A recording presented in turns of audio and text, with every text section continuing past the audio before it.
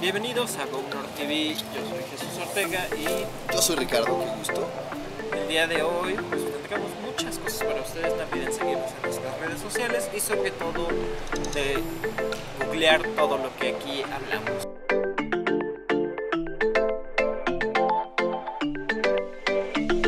Conócelos hablaremos de una cantante sueca que se llama Molly Sanders. Ella nació en Estocolmo el 3 de julio de 1992.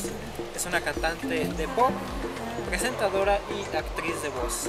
Es una de las cantantes suecas más populares en Escandinavia y ella participó desde los 14 años en un festival que se llama Eurovisión, que ya también hemos hablado de él aquí en GoNor TV. Ella participó en, el- en la versión junior de 2006, en tercer lugar con la canción de Finaste Nagon Kan. Sanden también participó en el Melody Festival en, en el 2009 con la canción Safir Starjona. En 2012 ella ha estado en muchos de estos festivales de la canción para representar a Suecia. Tiene dos álbumes de estudio en el mercado y un EP. Molly Sanden fue encargada de poner música en la boda del príncipe Carlos Felipe de Suecia y su esposa. De pequeña acudió a la escuela de música de Adolf Fredrik en Estocolmo y después a la escuela secundaria Ritmus, donde tuvo una importante formación musical, finalizando sus estudios en el año 2011. Y aparte de la música, se dedica también a la moda esta cantante. Sin duda es muy talentosa, acaba de sacar un álbum que después hablaremos de él, donde todas las canciones son en sueco. Entonces, sin duda les gustará y esperemos que la escuchen.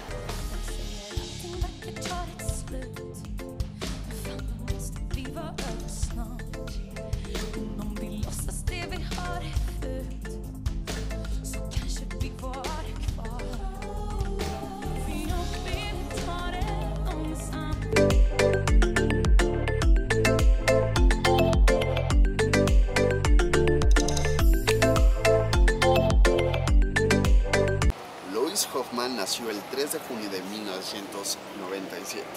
Es actor alemán reconocido por su papel protagónico en una película alemana del 2011, en la cual ganó el premio Bodil al mejor actor de reparto por su papel de adolescente alemán prisionero de guerra en la película Land of Mine.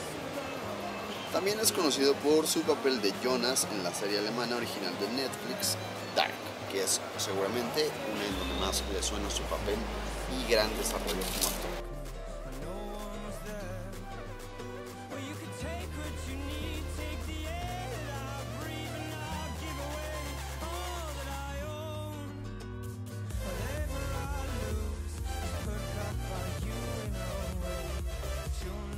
Su primera experiencia frente a la cámara fue para una emisión de radio alemana de la red WDR. Ahí hizo una audición en la sección de actividades de ocio familiar. Después de dos años y medio decidió convertirse en actor. A pesar de su corta edad, sus participaciones han exaltado su calidad actoral tanto en cine como en televisión. Su talento ha sido reconocido, son cinco premios ya los, Los que, que ha ganado. los que ha ganado, imagínate su corta edad, wow.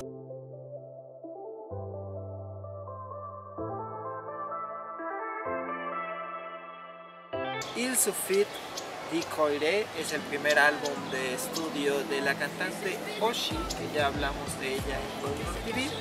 Ha sido reconocida con su disco de oro por las 50.000 copias que ha vendido. Oshi continúa su ascenso en la escena musical después de haber aparecido hace apenas un corto tiempo y después de darse a conocer de su primer EP que se llama Comment Vais Fire. Se presentó en septiembre de 2018 para todos aquellos fans que la seguían y como devolver algo a ellos por tanto seguimiento. La cantante ha alcanzado otra hazaña a principios de julio, pues su éxito Tamairene había superado los 10 millones de visitas en el canal de YouTube de esta canción. El álbum contiene mezclas de rock y pop y son 12 piezas las que se unen en este álbum.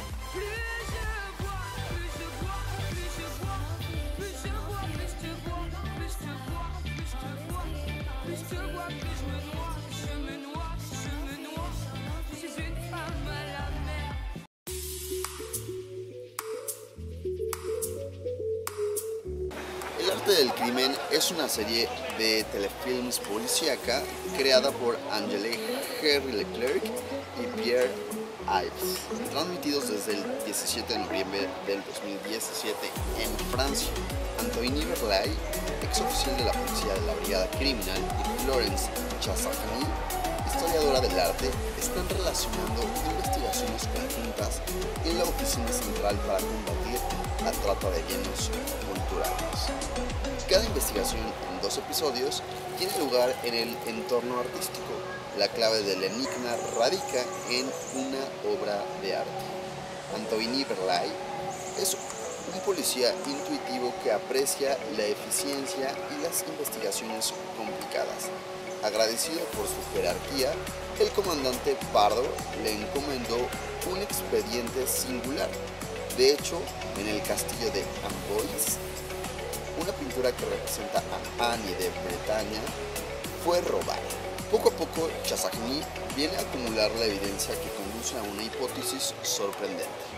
El retrato de Ana de Bretaña lo escondería. Là Excusez-moi, est-ce que vous pouvez agrandir l'image sur le livre, s'il vous plaît Encore un peu plus. Il est emprunté à la bibliothèque du Louvre.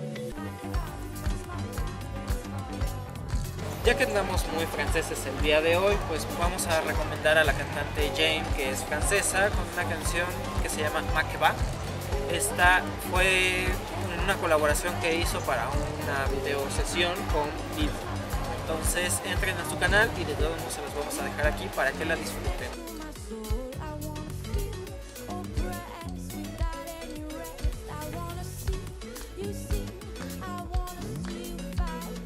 nombre es Jesús Ortega. Y yo soy Ricardo. Y nos vemos en la siguiente emisión. No olviden investigar todo lo que hablamos aquí para que ustedes lo conozcan. Hay mucho que ver. Hasta la próxima. Muy